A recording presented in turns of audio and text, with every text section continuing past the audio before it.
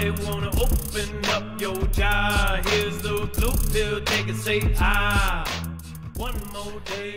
All right, what is going on, guys? It's Adam AK Marf, and this is Marfoogle TV. 32 Chinese warplanes buzz around Taiwan in just 24 hours, the second highest number this year after the island nation admitted stationing U.S. troops.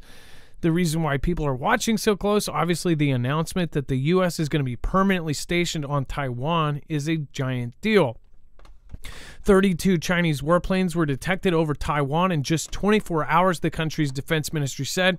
In the 24 hours between Wednesday 6 a.m. and Thursday 6 a.m. local time, the second highest number of Chinese planes this year buzzed over the island nation, accompanied by five naval vessels around Taiwan.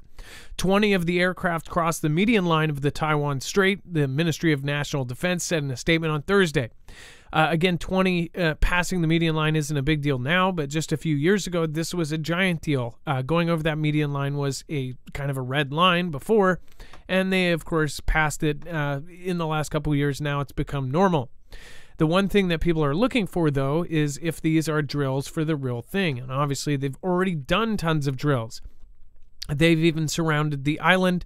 Uh, of course, now they're doing the same thing. They have naval vessels all around the island, and now they're loading up on planes.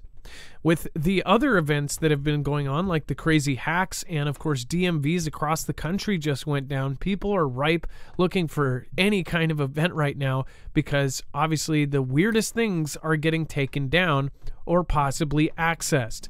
We're going to talk about this and much more on tonight's episode of Marfoogle TV. We'll be right back right after this.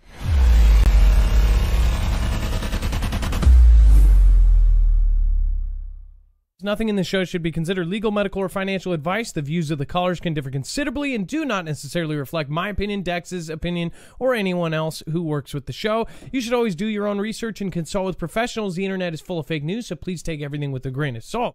If you have not already, it helps us out if you end up going through any of our affiliates, and it helps you out if you end up protecting yourself against cybercrime. NordVPN is one of the best and one of the easiest to use. If you do not have a virtual private network, it protects your IP address, which is your online identity, which actually connects to your real address and everything else. It also connects to you. If you know anything about how they are data logging and basically getting your profiles down, you can prevent that by having a VPN. Nord is again one of the easiest. Download it. It's like an on switch and off switch. All you have to do. Go to marfooglenews.com slash VPN. Not only will you get a giant discount on this, but you will also be helping us. I appreciate your support and I appreciate everyone that goes through any of our affiliates. Uh, can't say thank you enough. They wanna open up your. Here's the blue pill, take it, say ah. ah. Me, la la. Oh oh oh la la. Open up your. Here's the blue pill, take it, say ah. One more day on the job. They about to go and rub you. They wanna your pill. All right, what is going on, guys? Uh, yes, uh, somebody asked, do you need a license for ham radios? Yeah, you absolutely do. It's a, it's not an easy one too. It's a whole process. Um, somebody else said that they had info for us. If you want to get that info to Dex uh, during the show, he can actually access it and then give it to me. Uh, that's Dex at marfooglenews.com. As far as uh, you said, it was from somebody at a base or something. I don't know. I, I couldn't read the, all the way through. And uh, Connor B. Griffin says, Doom and gloom keeps me on my toes and aware. Well, first of all, it's voluntary doom and gloom. Uh, doom and gloom, I guess one thing would be uh, if it was like, you know, you're somebody that you can't get away from telling you, but if it's something you go voluntarily watch, then I guess who's the who's the doom and gloomer? Uh, if you're actively seeking it out, then I, I think that you have your answer right there. Um, otherwise, if you don't like scary movies, don't watch scary movies. If you don't like people's opinions of the world, then figure that out for yourself. Uh, you're a grown adult. Um, as far as uh, before we get moving, just make sure to go over to the website. You can have a full bibliography of every single article, tweet, video, picture, document over there. You can actually look for today's thumbnail. Just look for today's uh, Taiwan surrounded, and you will find a full link, every single article, tweet, video, picture, document here. Let's bring in my co-host slash internet brother, Dex James. What is going on, and how are you doing today? Hello, Adam, and hello, Foogle fam. I'm doing just fine. And by the way, if you do get that ham license, your uh, call sign is public, so therefore, anytime you share it online, anyone can find where you live, your name and address.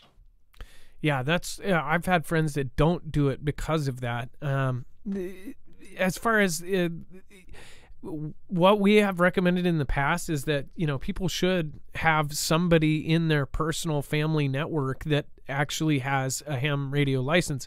If things go down, not everybody's going to be able to have a ham radio license and, and have it. Now, one thing somebody asked is like, well, what does the license matter when when the world all goes to crap? Uh, it it doesn't when it goes to crap, but it does matter now. Uh, you, I don't know. Will it matter? I don't think it will matter if if SHTF if you have a ham radio. Uh, what are the dangers of doing it without it? Right. I know that you can uh, you can cause harm to other uh, signals and things like that. Right. You could interject. Yeah, I think it's I think it's more ones. you know, the the licensing is really just learning how to use it and learning what it what it, how it works and what are all the different frequencies and how how to you know what the different types of antennas you can use, what bounces off of where, and understanding that. And that's pretty. Of course, there's a lot more to it than just that. There's a lot of laws and rules, but that part of it is actually worth it. I mean, I've gone through the entire process. I just haven't done the registration.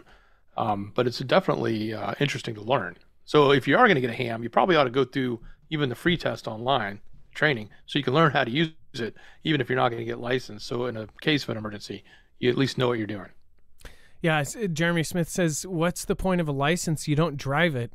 Um, well, some things like that. It's like if you, so um, like with drone operating, if um, if you want a commercial license, you have to go through the same uh, kind of lessons that a pilot does because you're piloting this drone in FAA airspace. So, for instance, for that, yeah, but you do drive that. I get that. Uh, but you put it in a space where planes are flying and uh, and it could get in trouble. With the radio, I would think that you could uh, kind of get into some trouble broadcasting on the wrong signal, things things like that.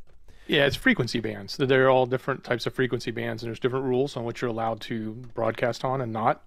Uh, you can listen on anything, but you can only broadcast on certain ones. And then there's certain rules as to what type of broadcast. Otherwise, everybody would open commercial radio stations for free, and not allowed. They protect those bandwidth uh, areas for ham, uh, so that they can enjoy the hobby, and then they protect the rest for actual specific use cases that are defined by those different bands of the spectrum. Some of them may be military, some of them may be, um, you know, communications for cell phones, some of them may be communications for FM radio, for example, or AM radio, etc. Well, and then uh, Dex, do you want to go over? Uh, China is building military on a scale not seen since World War II and is on track to be able to invade Taiwan by 2027. Yeah, so this is coming uh, from a U.S. admiral. I'm not so much sure about the date. Maybe the date is his opinion of the buildup. I know everybody seems to think they're on the brink of going in at any point, but even 2027 is not that far away. Um, but you know, the U.S. Navy Admiral John Aquilino, Aquilino, Aquilino, sorry, I'm sure I'm screwing up his name, says all indications point to the PLA meeting President Xi's directive to be ready to invade by 2027. Furthermore, the actions have indicated their ability to meet the preferred timeline to unify Taiwan with the mainland uh, by force if directed. Um, he was went on to, to give other statements, but more specifically talking about the rapid buildup, which we have been talking about quite a bit. He's just this is just another figurehead, but in this case, a large admiral um, with obviously much more insight. Um, he goes on to say that uh, you know direct the threat of direct conflict between the U.S. and China is neither immediate nor inevitable. Um, and then he his projected timelines align with those that have been given by others. I think retired Admiral Philip Davidson is one of the other ones that said 2027. Um, I I'm more concerned about the buildup and the scale. So because the dates are always they're always wrong. They're they're either predicting something and it's faster, or they're predicting something and it's slower. But uh, what he is specifically saying is the buildup, and this is the quote on a scale not seen since World War II. The PLA buildup is occurring across land, sea, air, space, cyber, and information domains. Um, so that's that's huge. And when you think about somebody scaling up at that level, I mean, if you just imagine the level of scale up we did uh, for World War II, to think that another country, especially as big as China, is scaling at that same level, that's that's massive. And that's not that's a for for war, but it's also b for power and control. And we know that that's been their mission all along is to be the leading dominant power of the world. Okay, and then there's also the fact that overnight, uh, there's been several periods over the last four or five years where China absolutely surprised the world, where it was it, it was incredible uh, that they popped out, and they're like, wait, wait, where did the, all of this come from? If they're saying 2027, I would think 2025. The reason why is over the last five, six years now, I have covered stories where they said, oh, they'll be ready by 2033. They'll be ready by 2029. They'll be ready by 2040. Or uh, one of them was 2042. Uh, they uh, already had moved those deadlines up. Not only has the US moved deadlines up, but what's crazier is that China has moved their deadlines up for all of their goals way faster. A good example is nuclear weapons. Uh, if we believe what they're telling us, they were going to have 300 by the year uh, 2028 or 2029 or something. Uh, they they were going to have, uh, yeah, I think it was 300 by then. It ended up happening by like 2023. Then they said that they would have this much. Now they're saying by 2029 or 2030 they will match the U.S. The U.S. has thousands. How is that going to how how did they put that much forward in that little of time without them knowing it? Well, they probably knew it. They just didn't tell the public. And when they do give us the hints, they're building up like never like not seen since World War II. That should be an eye opener for everybody on a scale not seen since World War II. The PLA's buildup occurring across across land, sea, air, space, cyber, and information domains. Think about that. Land, sorry guys, I'm still coming off my sickness. Land, they are building like we've never seen before. Uh, sea, we absolutely know they are the now the largest uh, navy in the world. That was not true five years ago. Uh, air, they are going for the largest air force and they're actively building as fast as they can. And uh, there's a huge chunk of people that be like, oh, well, one of their jets is, or 20 of our, uh, one of our jets is like 20 of theirs. Not really, because they stole all of our blueprints for all of our stuff. So you look at their jet and it's like, ah, it looks a lot like ours. And if you think that they really cut corners on all of it and they just made it like a knockoff, uh, I think that that is absolutely wrong.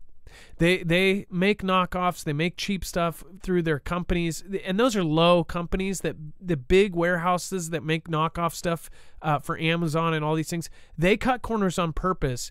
They are uh, doing cheap labor, cheap parts, cheap everything they can for the maximum dollar, and then guess where those dollars go?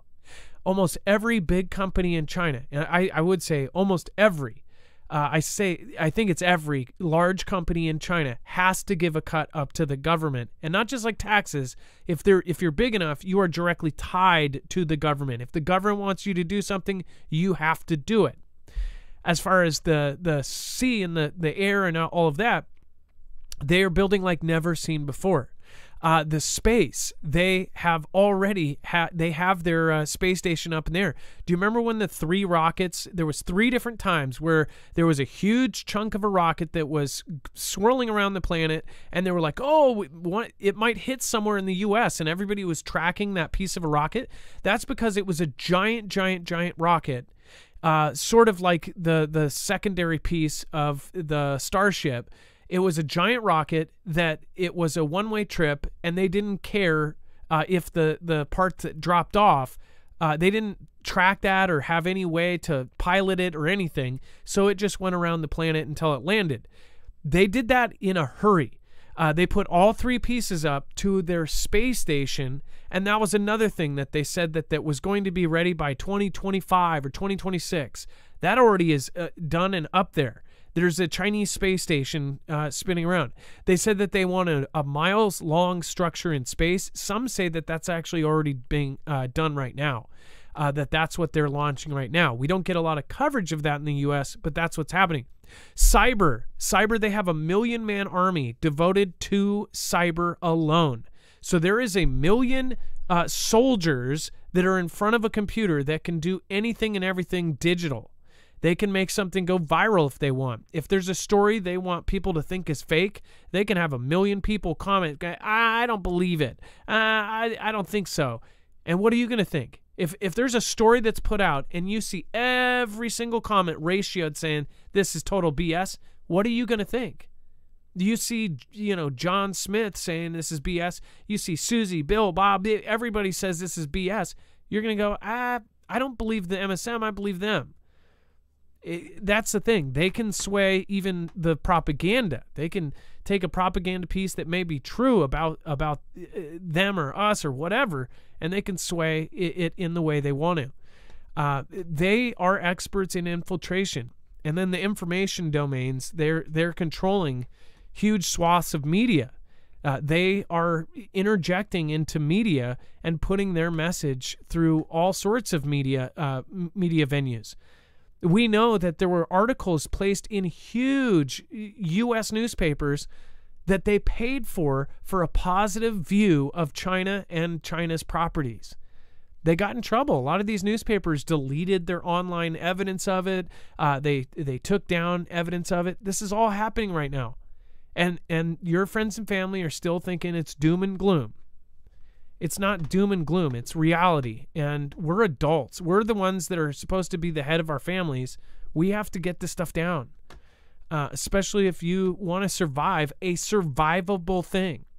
This isn't like the, the world is going to be decimated into dust uh, by a planet you know it, it could be decimated by a planet but again it's something that most of us can survive if we actually plan ahead. That's why I, I think that it's really important that people kind of, you know, not be so afraid of it and start owning that humans fight, humans have wars. Uh, we're going to have another war. And you prepare for it now, you will be set and comfy through it. Just like all of you were comfy through CV that heeded our warning about that. There was plenty of signs that there was going to be a demic. Uh, we we knew it. The we showed you. We told you. We said this is coming. They're preparing for it. It looks like they're literally preparing for a worldwide uh, thing. And then it happened. It wasn't a lucky guess. They put out graphs on how it was going to affect the world. They did drills and exercises. All these drills and exercises are for the most probable thing. And if you prepare for the most probable, you will be uh, you will be the prepped possible. I don't know. I got to come up with a good limerick. And then U.S. wades into India. China spat, says border state belongs to New Delhi. Dex, do you want to go over this? And, and by the way, that we covered the whole India aspect of this. Who is India actually going to join? Everybody thinks, oh, they'll just, they're, of course, enemies with China. What if they do end up, China just says, hey, you can have the land. Uh, would they end up teaming up with China if they got their land they've been fighting over for uh, decades and decades and decades? That's a great question. Uh, but look, eh, you know, Lincoln was in the Philippines and threw the gauntlet uh, back at China, and we heard China get upset. Now his State Department has come out uh, after China said, "Hey, don't mess with the South China Sea." So the State Department comes out and says, "Hey, you know, we're going to weigh in on this issue you got going on with India," and they basically said, "We agree with India, and we're going to side with them." Uh, the State Department official said the U.S. recognizes the state of Arunachal Pradesh as part of India and rejects attempts by others to assert control over the territory. China claims ownership of the area, which it calls Zangnan or South Tibet. It says we strongly oppose any unilateral attempts to advance territorial claims by incursion or encroachment, military or civilian, across the line of actual control. Uh, that was Vedant Patel from the U.S. State Department. So again, we're you know, poking and prodding at China, especially with the, you know, the, the territorial disputes. We're taking every position we can against them. Uh, we've put troops in, and they just came out publicly. We probably had them there for a long time. We just haven't publicly uh, made it available. But Taiwan did came out and said, "Yeah, we, the U.S. has troops here, and we've got them right there in Kinmen Island, right there, uh, you know, two miles from the border of China, of mainland China. They're sitting right there." Not just troops, but Green Berets. Um, we're doing everything right now. We put five. At one point, we'll have five carriers in the Pacific Theater. I think one will be shifting out for another, but still, there will be five there for a moment, for at least a portion of time while they're changing one out. Well, everything is primed. Yeah, and it, it primed. And uh, by the way, Beans and Frank, no, you're not. Don't believe Beans and Frank. He's not a troll. Um, by the way, Jeremy Smith asks, they don't even know what one is. Um, Jeremy Smith, I say this in the best way. I am super happy. It looks like you are new to this, even to this niche, um, n- not knowing about ham and all of this, and that's a good thing. We need people that don't know anything about this. Um, everybody really needs to start you're gonna you're gonna your mind is gonna be blown if you stick around just from the community and what they're all the stuff that is being talked about right now. It's truly like you you once you wake up you can't go back to sleep. When, once you start seeing the world in in a new light it's it's hard to turn that light off. Um you um, it happened to me after 2001 it was like 2003 or something when I got handed a couple of DVDs about the 2001 event. They were handmade, uh, burnt discs, and I put them in the DVD player when I got home.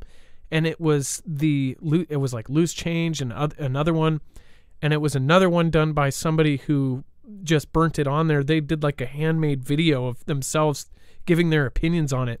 And it was a grassroots campaign that people were handing out downtown Seattle. And that freaking woke me up and it made me question all of what happened. And it went through all of these factoids, which, uh, again, this next generation has no idea. There's little hints of it on Twitter still every year on 2001's uh, anniversary. There's little hints of it. They'll say, oh, how did they find the identification? And it was all good. And it, uh, this doesn't burn at that, blah, blah, blah. And again, we don't have to go over that in chat if you guys can, because it um it's crazy crazy censored but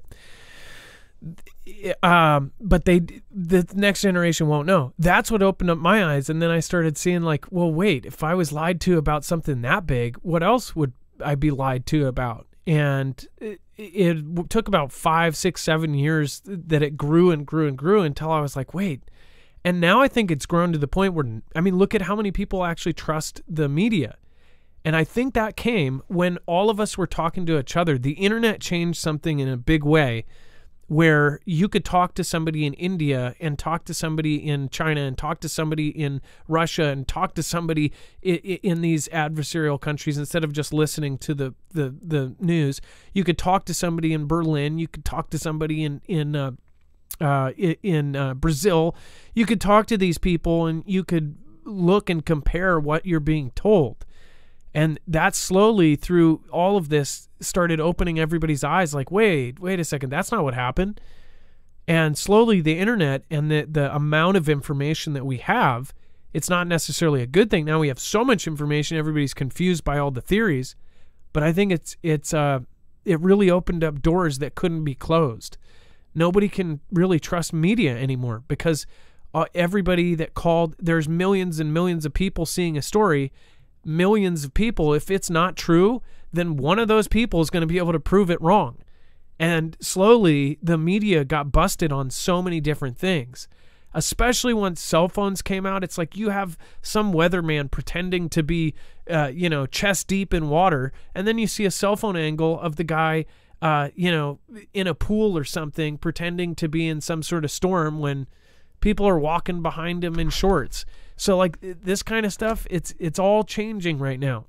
We we got to figure out what the truth is, and it's it's really um, it's uh it's really exciting to see people come in and not know all of this because it means that there's somebody new that could spread this to others and it's kind of like it's a it's a organism that grows uh, in a good way though all right and then uh Gosh, my nose is so bad. Uh, before we move on, make sure go over and check out EMP Shield. Uh, again, this is a device that can actually protect your cars, trucks, motorcycles, boats against an EMP. So, an EMP or electromagnetic pulse can actually uh, fry your car, truck, motorcycle, generator, house. Uh, and again, it, it can also protect against a Carrington level event, a solar event from the sun. What this device does when wired in, uh, it's very easy to wire in 10 minutes to wire into your car. It grounds the signal in less than 500 trillionths of a second before it can fry your device. This same company has worked with agencies and been contracted by agencies like DHS, DoD, and the DEMSO team helping protect the Texas grid. Uh, so it is it, uh, Keystone military tested.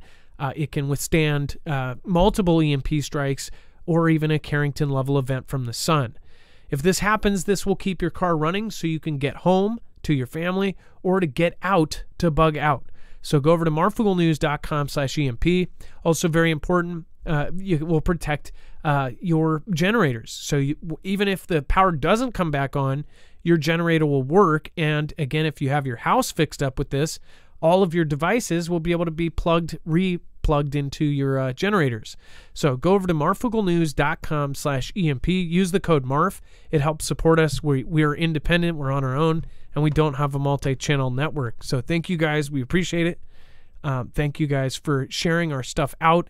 And more so than anything, if you can, subscribe to our channel and share our content out. That's even better than anything else. All right. And then uh, Yemen's Houthi tell China Russia their ships won't be targeted. So China and Russia won't be targeted, huh? Uh, Dex, this is, I guess, exciting for the Russians and Chinese. Of course, what a deal! Um, you know, the the allies of uh, China and Russia and Iran are coming together here, and they're making sure that hey, don't worry about it. While everyone else is avoiding the Red Sea, everyone else is not going through the Suez Canal. Instead, they're either not shipping or they're just going to go all the way around the Horn and go past South Africa and come back around. Uh, China and Russia got no problems. You can you can come right through. You won't be targeted. You won't be hit. Everything will be fine. But everyone else, it's fair game. So, uh, yeah, the the Yemen-based uh, organization has told both China and Russia their ships can sail through the Red Sea and the Gulf of Aden without being attacked, according to several people with knowledge of the militant group's discussions. So, China and Russia have reached an understanding following talks between their diplomats in Oman um, and uh, Mohammed Abdel Salam, one of the top political figures there for the group, uh, said that the people who uh, asked not to be named and discussed in private matters. So obviously they had called them, sort of called them on the carpet and said, "Hey, you you guys are going to do this. You got to let us through. Like you can't be targeting us." And it sounds like they said, "Yeah, no problem. We we got you covered." So, you know, if you if you're sailing a, a China flag or a Russia flag on your ship, you're probably going to make it through just fine. Everyone else, you're going to be worrying. So again, the lines are getting drawn clearer and clearer about who's who's on which side, who is, uh, you know, in favor. I would have I would have rather seen these other countries say, "Hey, it's probably not good business to do that for anyone. Don't just stop it for us, stop it for everyone." You know. But we knew this. You can have your you can have your battle, but going after commercial ships isn't necessarily the right way of doing it. Yeah, it screws up everybody's economy, not just uh, not just the U.S. or Israel or uh, their allies. Um, but we knew that Russia and Chinese. We didn't see a single name that was Russia and Chinese. Um, there was one, I think, almost clear accident, but uh, mostly it was they were targeting specific ships. And then Schumer signals approval of Netanyahu address to Congress. So they're going to approve this. Uh, this we keep getting these. Um, I guess other other people, other leaders of countries, uh, essentially uh, going to our government saying, "Hey guys, need some money." Uh, but seniority leader Chuck Schumer on Thursday signaled he won't stand in the way of inviting Israeli Prime Minister Benjamin Netanyahu to address a joint session of Congress. It says, We'll certainly extend an invitation, Johnson said on CNBC's Squawk Box, adding, I'm the one who extends the invitations to speak in the House. And if we just have the House, that's fine too. Johnson said he'll also be invited to address the Israeli Knesset. I think it's called Knesset. And we're trying to work out schedules on this. So you can almost guarantee this is going to happen. What is going to happen at that? Is, is uh, Netanyahu going to plead his case on why this is the right thing to do? Uh, to not have us push back on this like they have been saying they are.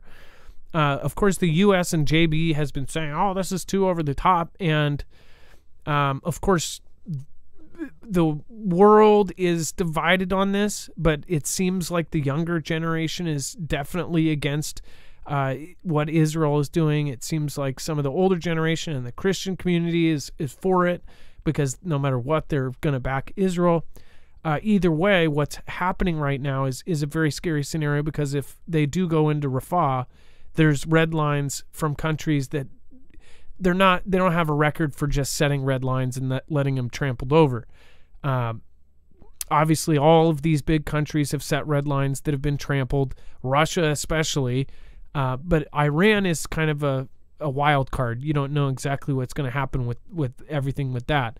And then even more of a wild card is a group like Hezbollah, which you don't know what agencies are secretly helping it or whatever is going on there. But with this, Dex, do you do you think that we're going to see them ask for money or ask for permission, or what do you think? I I, I think what what we're seeing here is the further um, position, uh, further positioning of of the current administration and Netanyahu divide. That is growing, and it's growing in a big way um, and it's and it's significant in the sense that you know we talked about this weeks ago when the administration came out and said or leaked out i should say yeah we if they if they go in there we might stop sending military weapon we might stop sending funds. Those are big deals. Um, and if the us is not backing israel on the actions they're taking then israel is going to stand alone and that's not a good position for israel to be in at all. They they won't. It, they may or may not be successful by themselves. I don't know. I mean, they are pretty powerful, but you know they they do need a lot from the U.S. Um, they're not as bad as UKR. I mean, UKR couldn't even stand on one foot um, without us holding everything and giving them four feet, four additional feet to to put underneath them. Well, they certainly but, have a um, they have a bigger military yeah. than the group they're going after, but they don't have a bigger military than all of their all of allies. combined. Yeah, no, and exactly, and I and I think that they've got a lot of pressure coming from all different angles. So, look, you know, things are are gonna get heated. This is. It seems like it's been in the media sort of tampered down, at least not talked about. But the reality of this dispute between Biden and Netanyahu, in my opinion, it seems like it's much more significant than it is. If you remember, um, we are the only ones at the UN that were backing them up. We were the only ones throwing vetoes in when the rest of the world was going against Israel. The U.S. was there to protect them in the UN. So, you know, as we move to the next article, you're going to see all of a sudden it's almost like we've thrown the gauntlet down. Yeah, and the U.S. is to bring a resolution calling for a ceasefire in the Strip, and it's going to go up for vote in the UN on Friday. So I, the thing is, is I mean, is that not a negotiation right there, Adam? I mean, is that not them saying like, look, we told you don't do it. You said you're going to do it anyway, so we're going to start throwing our throwing our, our negotiating tactics at you. All right, we're going to go into the UN now. We've been backing you up the whole time now we're not. But what what I don't get is that a lot of us question what is really happening behind closed doors. Like if if JB is actually high fiving Netanyahu and this is all part of some other bigger thing. That this is the question that a lot of our community asks: is what is really happening? Like what level of corruption is happening right now with all of these countries? Every one of them doesn't matter what side and you you wonder what the end uh, is it really as obvious as they say it is? It, it was this it was that. The thing that this all stems from people have a lot of questions about that day on the 7th like what what happened there and and how it happened and how one of you know the country that surveils uh, like no one else uh, didn't see this coming. Or actually, they know they saw it coming. They had warning of it. How did it even happen?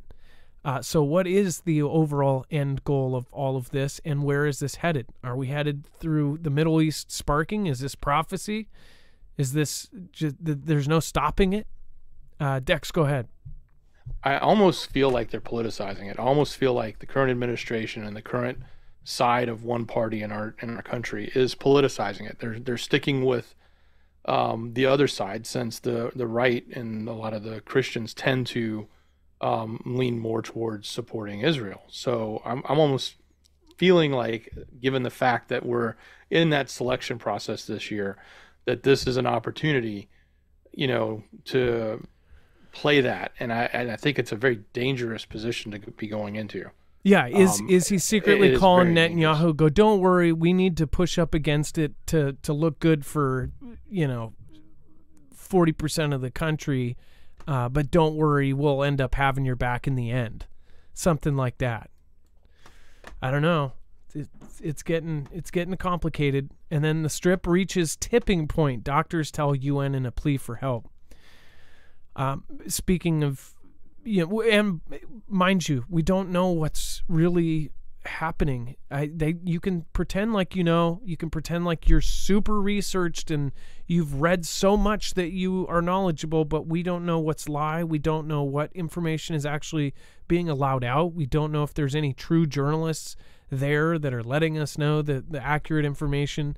That's the questions you ask when you're in this community is we don't know what is actually true and we take everything with a grain of salt. At the United Nations headquarters on Tuesday, four doctors from the US, UK, and France who have spent decades working on the front lines warned that the humanitarian situation in the strip has reached, quote, a tipping point and that the invasion of Rafah would be apocalyptic. Pretty big word, apocalyptic. Uh, but you have 2.2 million people roughly in that small area. The entire strip, which many don't realize, is 25 miles uh, long. When you look at a map, you think, oh, this is a, a state. It's 25 miles. And then they pushed everybody into half of that. So 2 million squeezed into the area of a million. That was about 12.5 miles. And then they squeezed that into less than a quarter of that space. So you have, uh, in, in fact, it's not, it's like a one eighth of the space. Now, 2 million, 2.2 million are in that area. The rest of the country, if we believe what they say, is rubble. So even if they filter them through and say, oh, you're not a, a terror person, then you can go back to your home. What home is there? You know, according to them, there's no homes left. So what has to happen here? And then the the food and all of the supplies, they only have a few entrances and there's been many events where the food doesn't get through or the stuff gets shut down or then uh, they got to the point where they were dropping planes with crates of, of supplies. How did that even work too? Like did did were they responsible about doling that out to everybody? Did people hoard? It, it I could imagine if any in any country, doesn't matter where you are, if it was to the point where there's absolutely nothing and then the only supplies are dropping from the sky, you would think people would go nuts and try to get, you know, extra not knowing where the next supply crate was coming from, that everybody would try to hoard and steal from each other and and you know, freak out. Um, so this whole thing is is getting pretty crazy. The group pleaded for help for the from global leaders as it discussed the worsening healthcare emergency in the strip since October 7, the result of Israel's retaliatory conflict in response to terror attack that left 1,200 perished and saw 253 kidnapped. Which I asked the question yesterday: How many are still uh, being held? We saw pairs of two released in the beginning, but then we haven't heard much about that. So I wonder how many they still have. You don't see too much about the families that have people there either anymore. I know that there's the groups that publicly speak, and uh, but I haven't seen much coverage of it. And then Dex, uh, this is regarding what's going on here, and folks coming in. Over a hundred migrants break through razor wire and knock down guards as they crossed El Paso border in a wild scene. Yeah, they en- they were entering uh, obviously illegally. They rushed a border wall on Thursday, breaking through razor wire, knocking over guards.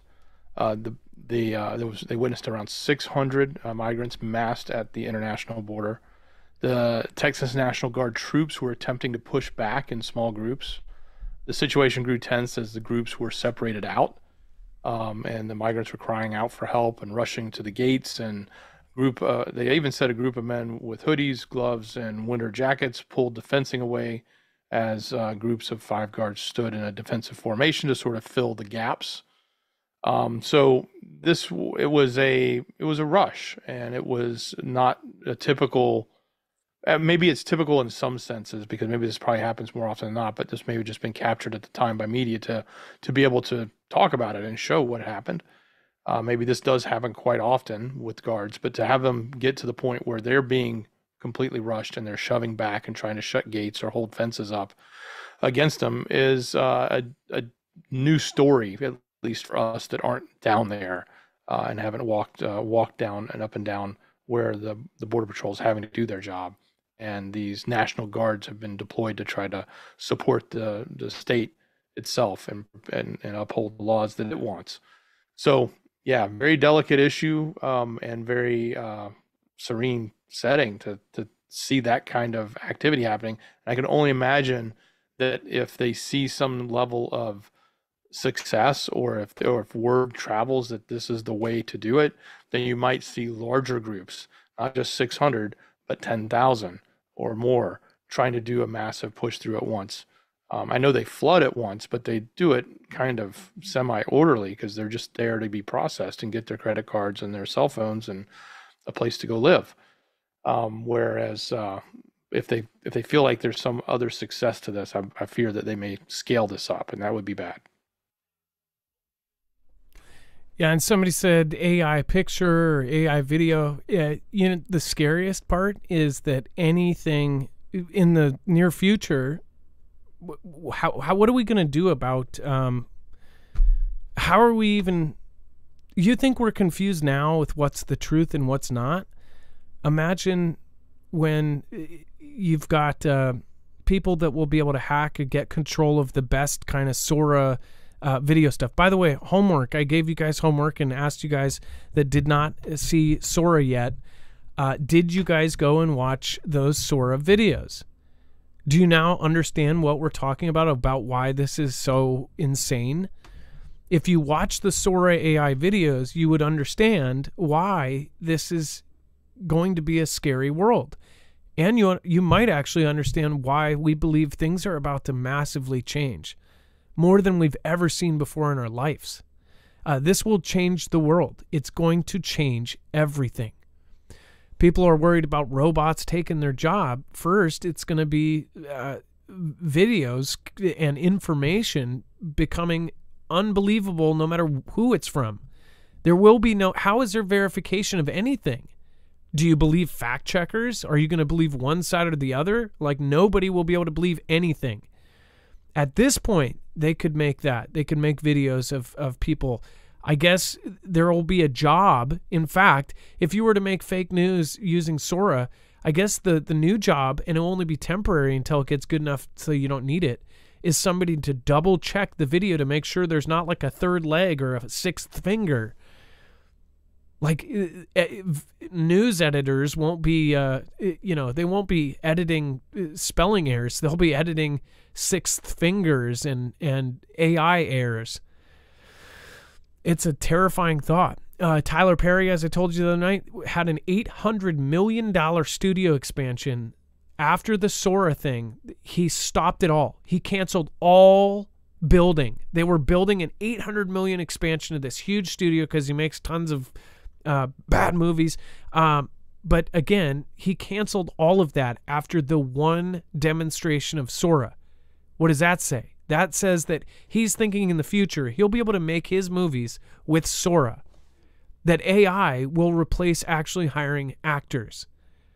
That's that in, was jobs here in Georgia, by the way.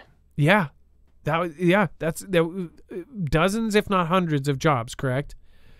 They were building that in Georgia. Oh, probably yeah, probably ton, tons of jobs just from the construction to then even the maintenance afterwards and and all the actors and all the support staff that goes into movie productions and all that. Yeah. Oh yeah, think about th- think about this. Think about every movie producer across the planet. Think about how long credits are on a big movie. All of those names will be useless. All of those names will not have a job in the future. And that's just in that sector. Uh, obviously, construction work, driving, piloting, uh, any job you can think of coding. If if you said if you sent your teenagers to school to go code because you thought that was the future too bad. Now they've trained AI to train other AI to do what you thought your kid and that uh, that fancy tech degree would do J- just 10 years ago I, I worked with people and I had clients when I was doing credit card processing and helping people with banking stuff. Um, you know there there were people that made a good amount that could survive and even thrive even in expensive Washington that were doing coding for Amazon or for this or for Expedia or for Microsoft or Amazon uh, or whatever um, the other one that's here. But now that's not going to be a thing so you have all of these uh, jobs that are going to be xed out what do, what does humanity do when there's no work or maybe there'll just be a lot less work. What do you think the people at the very top are thinking? Well, we've got 8 billion people and we've got 500,000 jobs. This isn't a system that really works, right? Unless we get a, a, rid of money altogether and change the entire planet. How do you do that? That's what we're talking about here. And people think that that's far away. Something is coming. Digital, everything is coming. And there's probably people in the back end in the dark shadows that are like, well, that won't happen if the lights go out.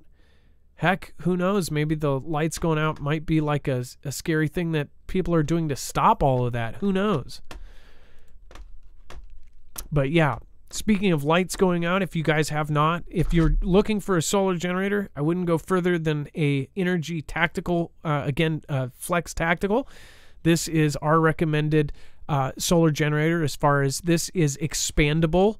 It is modular, meaning you can change it, you can alter it, you can add different add ons, just like bricks, like Lego. You can add in bricks, either battery bricks or mod bricks. Uh, essentially, you can leave with just the head unit and a battery and take it wherever you need. Uh, um, or you can mod it out and have 96 batteries on it. Uh, it has built-in heaters in every battery, so you can uh, stand extreme cold temperatures as it shows in snow. Uh, but the really cool part about solar, it's quiet, it's silent. It, nobody's going to hear you have one. You can run it inside, so you don't have to have a shed that a ventilated shed and put soundproofing, which I've seen people do, so people don't know they have generators. Uh, also, you get power from the sun solar panels, you, you can actually hook up a mod that allows you to triple the amount of solar panels. So instead of four, you can actually hook up 12. That's what's so cool about these systems. You're going to be able to change and mod them however you want them. And the stuff you don't want, you don't need, you don't have to do. You don't need any extra frills. You don't need them. That's why the military has chosen this for the STTR Phase 2 contract. They are tough as nails. This thing is built like a tank. It's built like appliances used to be built. Uh, that's why we recommend this. The 1500 pound latches, steel reinforced frame. I don't know if it's powder coated, but that's what it feels like. Um, again, I've, I keep forgetting to ask, but that's what, if you've ever felt a powder coated metal, that's what these things feel like. And they are extreme quality. The only downside to this is the weight. I, in my opinion, the only downside is waiting for them. It can take a few months. It's 70 days out at least if you order now. Um, and again, uh, that is my only downside with it. You can get one on Monday from a competitor that you you look it up and they do all the same things, but it has direct ties to a country you don't trust. So again, I've looked at the two competitors that are really close that can be expanded, that are modular, do all the same stuff. Go look for yourself. You'll see. You might be able to get it on Monday, but on Thursday, if SHTF happens, on Friday, will it still work? That's my question. And again, will it be using the, the best parts and will it be trusted to turn on? The military doesn't care if it, it's pretty, they care if it works and works every time. Go over to marfooglenews.com slash inergy and make sure to use the code marfoogle. We think this will actually help save people's lives or make them comfortable through a disaster, so go check it out. All right, let's do a roll call. Let's go over to the chat and say hello. Thank you, everybody, for uh, being here. We've got uh, Dale Val, and if you in roll call, we just general state or province. You can meet other people in the chat uh, that are from the general area. You instantly have something in common. Uh, Angelo Perfili, nice to see you. Dennis B, howdy from Stanford, Kentucky, nice to see you. Paula McLennan from France, and I'm so sorry, my nose is just uh, killing me tonight. It is so much pressure. Ah, I sound horrible. I, I'm sorry. Central Wisconsin, Nummy Nubby, OH. OH. IO. James Damron, what's going on over on X? Paul Barbacano from Lancaster, PA, Pennsylvania in the house. We've got Vegas, baby. Uh, Buck Foe Jiden, what is happening? Uh, Indian Sioux, Lord Andrew, Jeremy Smith, South Texas, and lagging. Oh, Jeremy, and also you can exit out of the video and come back, or reduce the quality, or uh, pause it for a minute and it will upload and it will be a, a better watch, but you'll be a delayed a couple seconds. Uh, Ricky the Fool, San Antonio, or you can watch on other other platforms if we're having issues over on YouTube or any of the others. Uh, go to go to marfooglenews.com to find the other ones. Dale Val, Jordan Brock, uh, Provo, Utah in the house. Uh, Utah, that's uh, uh, we have uh, friends in Utah, awesome, and then BC, Canada, PA, uh, Prepperman, and time has sped up. Doctor Virtual Empower. By the way, uh, so we've talked about that before, and we might do a small show on that. But people do feel like time is actually sped up as you get older. Time goes faster, right? And it definitely goes faster when you get older. There's that going faster. Like as you get older, you, it it like when you're a kid, you can't wait to be 18, and then you can't wait to be 21. After that, it's downhill. Uh, but after that, it starts going slow. Uh, I'm sorry, faster and faster and faster, and 20, 30, 40.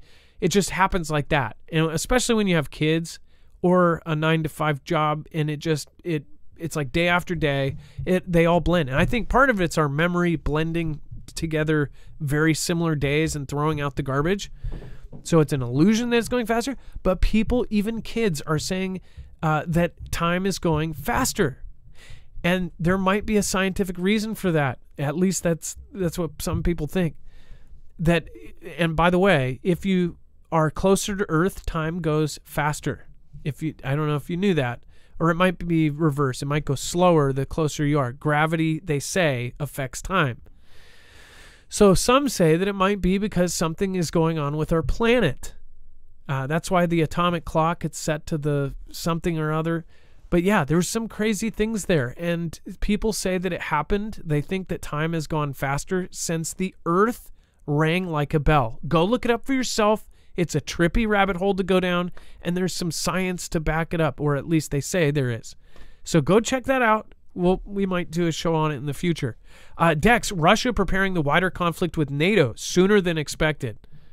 Here's, even Yep, if it's so rhetoric, have- it's scary.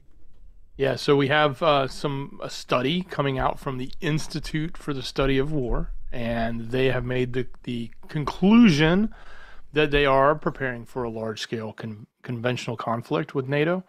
They don't think that it's exactly imminent.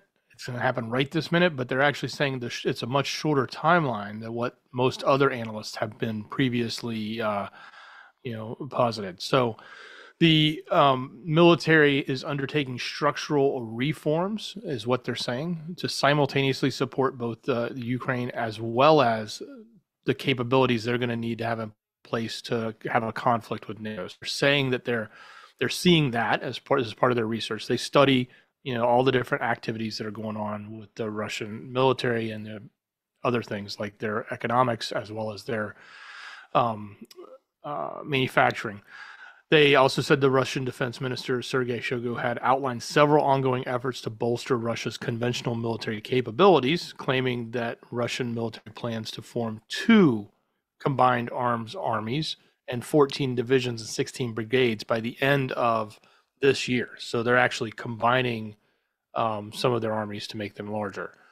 And so you know eh, they don't necessarily have all of the details you know like they don't necessarily have all of the infrastructure the military infrastructure or um, training capacity and and um, they think that they lack some of that at least that's what their opinion is but at the same time, it, what they're really saying is it's clear by the actions they're taking and the steps they have taken that they're shifting things to get prepared for war. Now, look, this is not new to us. This is just their report. Uh, we've been saying this because we we can read between the lines. We watch this stuff daily. You guys watch this stuff daily. You guys are talking about it. We're all talking about it together. We look at all the little bits and pieces, the movement here, the movement there, the production, you know, move, you know, all of it, and we can easily, you know, connect the dots and realize that this is actually happening. Yeah, they the the digging of the trenches across all the the front lines, uh, the the production gearing up the all of the warehouses that have been shifted from making Q-tips to to military gear and weapons and uh, the shipments from North Korea, the weapons swapping, the hypersonics getting given to all of the allies. Like they're getting ready for a big one. But that's just our opinion, uh, and now that of many others. But how many times, if you've watched for a very long time, how many times have you seen not just our opinion, but the community's opinion become true within a couple of years? And now it's even history. It's, it's kind of crazy. It's not it's not just us. I mean, it's it's the community in general.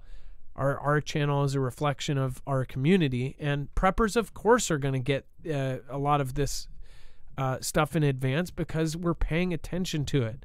If you pay attention, if you study anything, if you pay attention to anything, if you basically, it's like practice. Practice makes perfect. If you look at the news cycles, if you watch what's on the back page, if you see all the signs, you're going to be able to put two plus two together. It's pretty simple.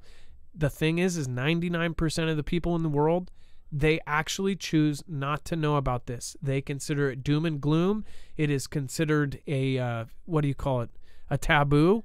They don't want to hear about it. They don't want to think about it, and they don't like people who talk about it because they feel like they're scaring people. Well, there's many of us that aren't scared by this, and we're getting ready for it. And the people that are going to be the most scared are the ones that aren't prepared. Domenico Lavara, thank you so much. Says, hey, great show again, Marf Dex and Mods. Hey, thank you, Domenico. I appreciate that. Uh, Amarillo Gunrunner says, howdy, or hootie, I think, hoodie.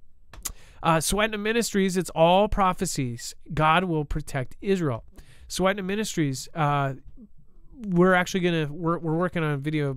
Uh, I can't, I won't say it because if I say it, then people will uh, I don't want to give any ideas. Sheila Story, thank you so much from Canada. Sheila, I appreciate your support. Thank you, thank you, thank you for uh, supporting Independent. Uh, don't know if that was a mistake. Usually you would write something there. You can write it uh, as much as you want. Uh, again, thank you, thank you, thank you. Uh, always try to write a message or just a, some hello or a shout out. Thank you. Schaefer Girl, Addison Satterfield, Trilicit, Uncle Iro, and Jespy Bug, Stephen McMahon, and of course, Old Combat Vet and Jerry Shirts. Thank you guys. And Carol, I hope you're doing well wherever you are. Appreciate you. And then uh, Nana MT, hopefully you're doing well. Uh, you guys, um, hopefully you're having a great, great day.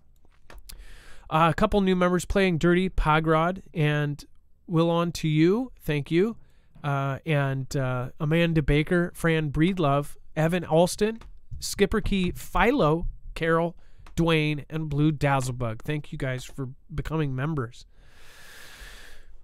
And we have Russia starts mass producing three ton bomb for use in Ukraine.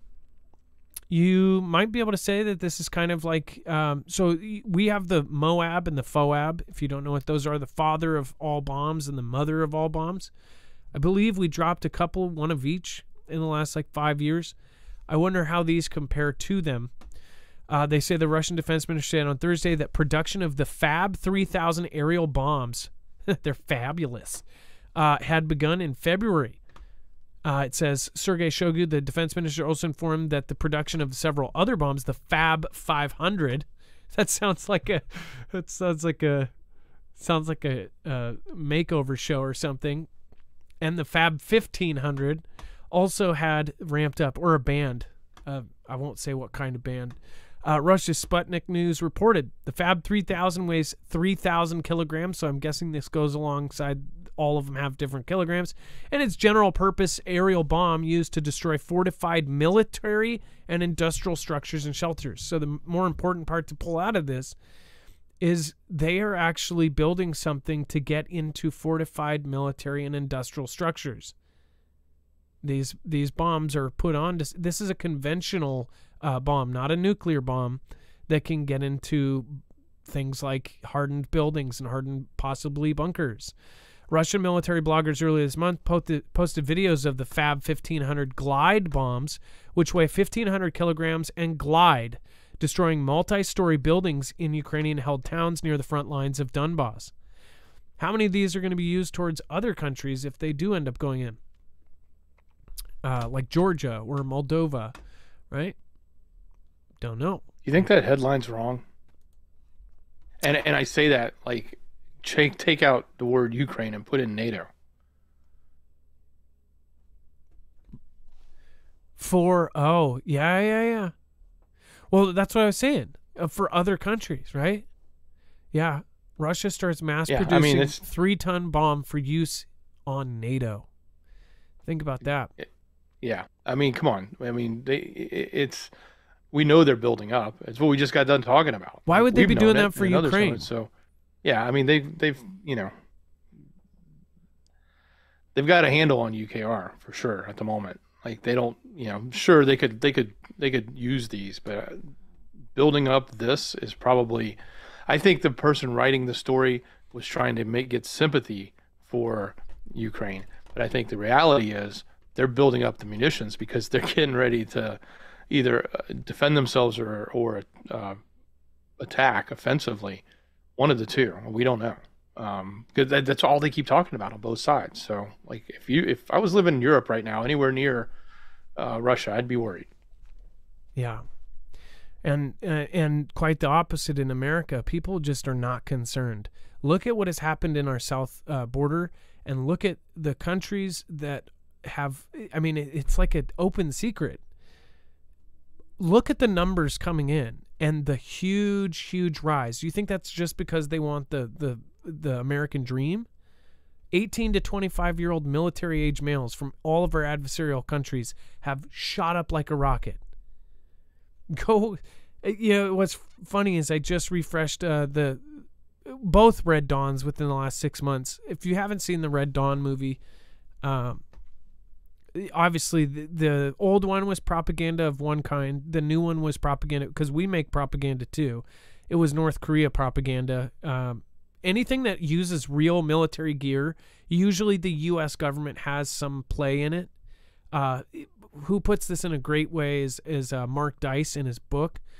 Uh, but uh, our Mark, Mark Dice has actually done some videos if you don't want the, the full version, but he's talked about how the U.S. government, if they use actual military gear in Hollywood, uh, usually they have a say in, in what kind of stuff that they can put out there.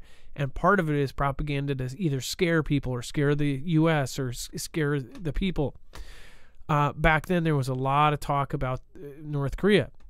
But if you haven't gone back and seen that, go look. You can actually watch just the intro. Watch the intro, the first two minutes and 30 seconds. I just sent this to Dex earlier. It's really crazy. It, it, it talks about uh, basically targets inside of Russia getting hit right before their selection day. Uh, it talks about North Korea attacking Yeonpyeong Island, which just happened. It says uh, they because remember they evacuated that area because there was artillery hitting nearby. Um, it ha- it keeps showing JB. If you guys remember this, it shows JB because back when 2012 when they made that movie, JB was the vice president to Barack. But oddly enough, they use a, a tiny sound clip of Barack, but the rest are clips of JB talking about North Korea. So it's weird because he's now currently the president, and it, it was it was just uh, very odd. And then they also, uh, what else they they uh, said in there, which was trippy. They talk about Kim Jong Un taking power, uh, and doing artillery strikes and doing all these things. It's so weird watching that 12 years later, and it actually has a lot of things that are happening right now. Oh, and Russia invading Georgia. And look in the last week of what's going on. Georgia, they just met with Georgia. NATO just met with Georgia and Moldova. That's that headline is actually in that movie. It's so weird. It's like it's all scripted. And then the U.S. Air Force tests third uh, third stage rocket motor for next nuclear missile. So lots and lots of updating of our nuclear missiles. We won't go too far into this, but again, this is this is the kind of stuff that you we follow. Uh, Dex, Air Force, uh, and uh, yeah, this was in Tennessee. They were testing at the um, uh, Arnold Engineering Development Center complex in Tennessee, Aerojet Rocketdyne and Northrop Grumman, Grumman, Grumman uh, were testing. Now, you know, contrast this with the story just before with Russia building up these massively large uh, bombs in, in preparation, and here we are also prepping up. I mean, this just happens to be one story on one type. It's not apples to apples, but the fact is, we're continuing to build. So, um, on one hand, you can also argue that we've depleted a lot of our inventory, and we've talked about that quite a bit. But specifically, right here, this is a major upgrade um, to some of our ICBMs. It's part of a program to update them because a lot of them are extremely old. Minutemans are very old, and probably not necessarily going to be as reliable as they age even further. We saw that one test recently over California that had to, as they claim it, had an anomaly and had to be destroyed. Although we don't know, maybe something else happened to that one. Um, but this is the process they're going through right now to update those uh, nuclear delivery systems, and this is the one of the final stages, uh, or, the the specifically the third stage rocket that they were testing. So anyway, um, on one hand, we're continuing to invest, but on the other hand, I think we're depleted in lots of areas, and we've done that to ourselves at our own peril. Yeah, a lot of a lot of areas where it's kind of our own fault. And then oil rigger spots UFOs hovering for 10 minutes above the deck before zooming off in an instant on the Mexican coast where locals believe is a submerged alien base. The, the reality is uh, crazier than fiction at this point. A pair of UFOs were spotting soaring over an oil rig off the coast of Mexico, where locals have claimed is home to a secret underwater alien base. A crew member of the vessel near Tampico snapped two images, one showing a saucer shaped craft with glowing lights circling the base, and the other with a triangular design and three lights on the bottom. The witness said that the UAPs hovered for what seemed like 10 minutes and then just zoomed off in an instant, a source told DailyMail.com. Locals of Tampico believe the underwater extraterrestrial base has been protecting them from hurricanes for more than 50 years. Sorry, Kitty. Oh, Kitty. Oh, got a visitor here about to tear out all my uh, wires. Zoe. Pretty kitty. Just don't tear out the wires. That's the mama kitty to the kittens. Uh, but check out the photo. This is supposedly taking taken by the uh, oil rig. Is that not like super stereotypical of? I mean, actually, it's actually kind of, it's actually better designed than a lot of the stereotypical uh, uh, disc shaped UFOs. It's got kind of a uniform light system underneath. Or is it lights? Are those jets? This could be very well like US technology. Do you remember when they tried to make discs back in the 60s and they had jets all around the bottom and they floated and there's video of them floating? It could be something like that where it's a bunch of jets and they're testing some sort of new craft. Uh, definitely could do it down somewhere down like, like there. Um, but very, very interesting. And then there's a, a, zoomed in. I thought, yeah, here's a zoom in image, which isn't much help at all. Obviously, anything can be faked, uh, but it's definitely interesting to say the least. What do you think it is? Or do you think it's uh, something at uh, somebody else said it was a something coming face at it or something like that the angle that it was lights heading towards it but it was some sort of light trick or something. I don't know. What do you guys think? Let me know in the comments down below. And if you haven't already, make sure to go check it out. Right now, the the sale is back on for the three month. Uh, there's two hundred dollars off on a three month supply of freeze dried food uh, from My Patriot Supply. Again, this is one of the most affordable ways to get bulk freeze dried food. There's all sorts of great companies out there, and again, we actually represent more than one because there's different options for different people. This is the one we have picked for affordability and most bang for your buck as far as being able to survive. Uh, and again, this is freeze dried food, which once you add water in, it keeps almost all of its flavor, it keeps almost all of its nutrients in, uh, and it brings it right back to life. Freeze dried food, just add water or cook in water or cook in even sauce, and it brings it back uh, to to the living. Go to marfooglenews.com slash prep. Again, you get $200 off with our code and, or actually with our link. You don't even have to do a code on this one. And uh, that's again one month of food for three people. That's a month and a half for two people, or three months for one. Especially if you're trying to get six months to a year of food, it it gets really really pricey. Uh, again, so go check it out, marfooglenews.com slash prep.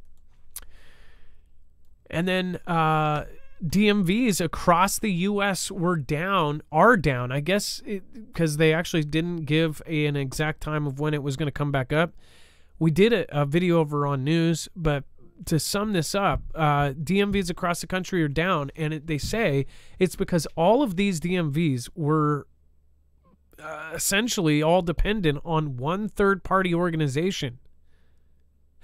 This is a problem, and this is a big problem we're going to face uh, in a lot of different areas as far as our vulnerabilities, because many different agencies are dependent on one or another thing. So in this case, there was a third party organization that ran their software or something, and all of the systems were down. My question is was this actually a hack? And this is very freaky because DMVs. They do all the licensing, registrations, IDs, uh, licenses, obviously.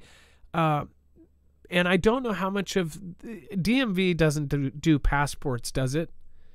That would be a, a worry no. too. Okay. So, but they do licensing, they do all of that.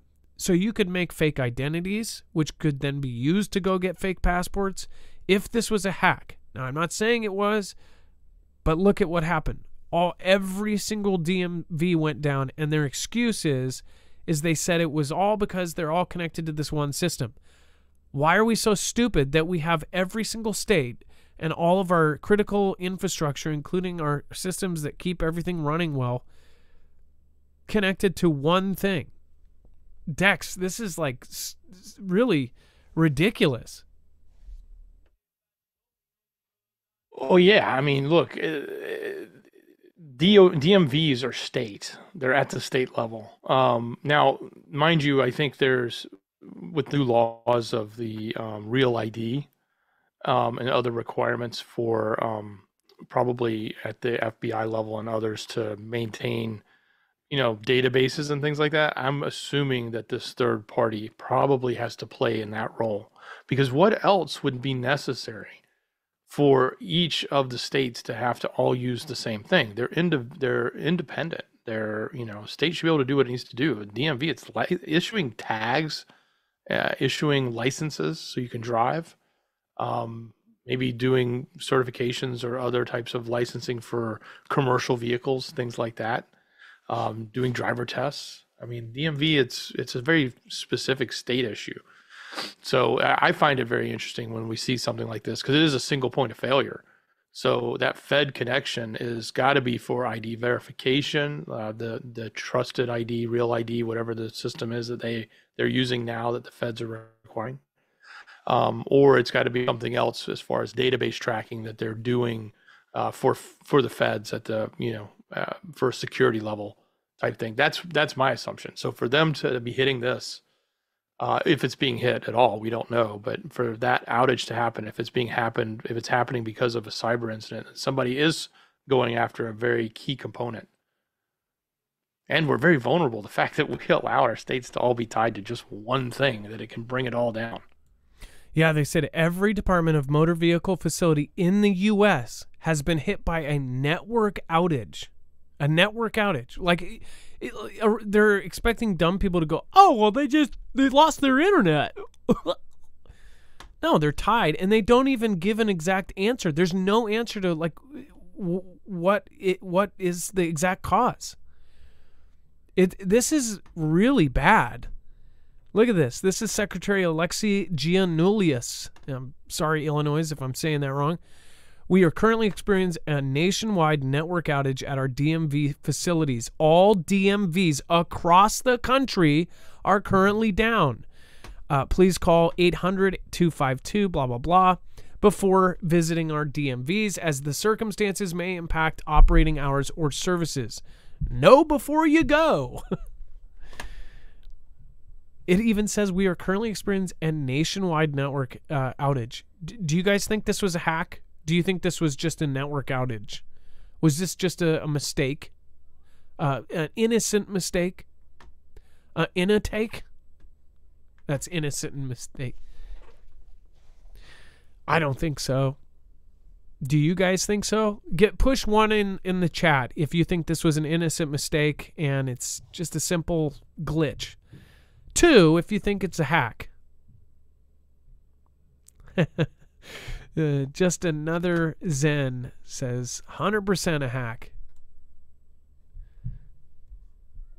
Somebody says we doomed. We doomed. I guess, yeah, you can't get a license. Well, maybe the terrorists can. Who knows? Okay, so I think it's pretty unanimous. Uh, how many people believe uh, it was an innocent mistake? Nobody. Peter Lametta, Carol, Angelo Perfili. I think it smells fishy. An internal hack, too. An internal hack, too. Yeah. Something's happening. What if, while this is all going down, somebody at the very top is like, this seems like something right before, you know, a certain day in our future. Like something's going on. This is really weird. Yeah, exactly. So, pretty unanimous on that. Uh, DMVs uh, across the country. Go watch our video over on Marfoogle News right here. Remember, you can actually access that. Uh, of course, just click this right here if you're watching the replay, and it will bring you to our uh, exclusive coverage of that and other hacks over on Marfoogle News. Thank you, AK Forever in My Heart. Thank you, Jillian Mason, for some Lemsip cold relief. I've I don't think I've heard of Lemsip. Uh, lemon sip cold, I'm guessing. Lemon. Uh, thank you, Domenico Lavara. Thank you, Amarillo. And then uh, Sheila Story. Thank you. You are a top supporter tonight. Thank you so much. D Live. Thank you, Scooby Doo Do Right. Cinny, The Undisneer, Wishka, uh, the Brendan Henschel. Brendan Henschel, you just followed? I know uh, you've. Uh, I think you've talked through your wife's channel. Thank you. Or I don't know if D Live's never had a problem of people being unfollowed, but uh, thank you so much, Brendan Henschel. What's going on? Uh, you guys go check out Brendan Henschel if you haven't. Scooby Doo Do Right. Thank you for uh, hosting. Thank you for bringing new people over. Appreciate that. Poco Loco Sky House and CJ7 1969. Thank you all. Dex, thank you so much. I appreciate you. Much love. Great job, brother. Much love. Nice. Have a good night, guys. Be safe. Be prepared. Marf out. It is now time for the shoutro. It's not an outro. It's not a shout out. It's a shoutro. One more day on live. They about to go me on me on live. They wanna open up your jaw. Here's the blue pill. Take a say ah. One more day on the job. They about to go and rub you raw. They wanna open up your jaw. Here's the blue pill.